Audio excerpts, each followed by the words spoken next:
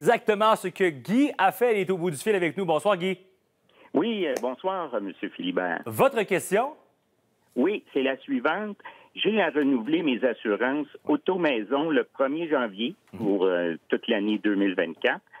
Bien que rien n'a changé au niveau de mes deux protections, euh, il n'y a eu aucune réclamation.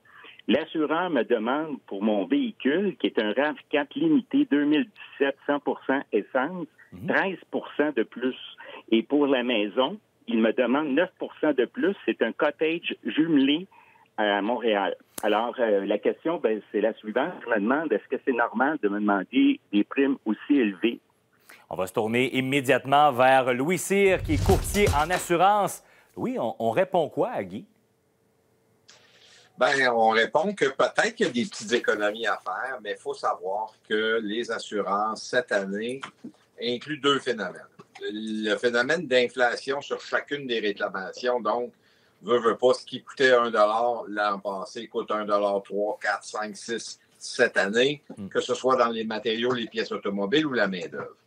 Et l'autre phénomène, c'est, euh, dans le fond, les catastrophes euh, naturelles. Euh, que ce soit feu de forêt, tornade, grêle, tout ça, les assureurs ne peuvent pas nécessairement pénaliser que le réclamant.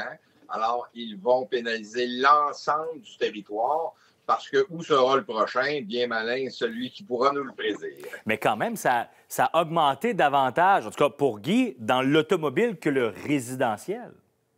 Oui, tout à fait. En automobile, on a eu un phénomène de rareté et surtout un phénomène de vol qui est très problématique en ce moment au Québec. Et on sent même que les instances gouvernementales vont s'impliquer un peu parce que ça a un effet sur les primes d'assurance, c'est sûr et certain. Mais, d'ailleurs, Louis, tu mentionnais tout à l'heure, il y a quelques économies à faire. Qu'est-ce qu'on doit regarder en premier en termes d'économie? Faire passer l'inflation dans notre franchise. Donc, si on a une franchise de 500, la monter à 1000, 1500, si on est capable, bien sûr, euh, ça nous fait économiser des fois entre 5, 10 et même 15 Donc, on est peut-être capable d'amoindrir ces hausses-là, mais avec la franchise.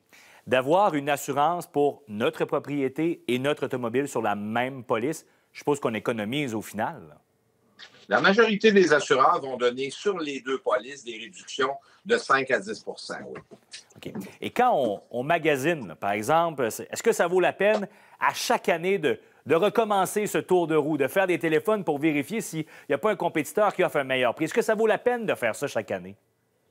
Chaque année, je dirais que non, mais peut-être entre trois et cinq ans régulièrement, euh, oui, il faut faire ça parce que euh, malheureusement ou heureusement, dans le fond, euh, chaque assureur détermine sa clientèle cible. Mhm. C'est possible qu'on soit une cible pour un assureur une année et pas du tout trois ans plus tard. Et c'est là qu'on a des belles découvertes. Mais à chaque année, c'est un peu fastidieux. Et les assureurs euh, gardent en mémoire ceux qui appellent chaque année sans jamais acheter la police. Alors, on n'a pas les meilleurs rabais dans ce temps-là. Donc, en quelques secondes, ce que je comprends, c'est que, Guy, actuellement, l'augmentation est justifiée, ce qu'on comprend l'augmentation est justifiée et s'il si magasine, euh, ça fait longtemps qu'il ne l'a pas fait, peut-être une surprise l'attend.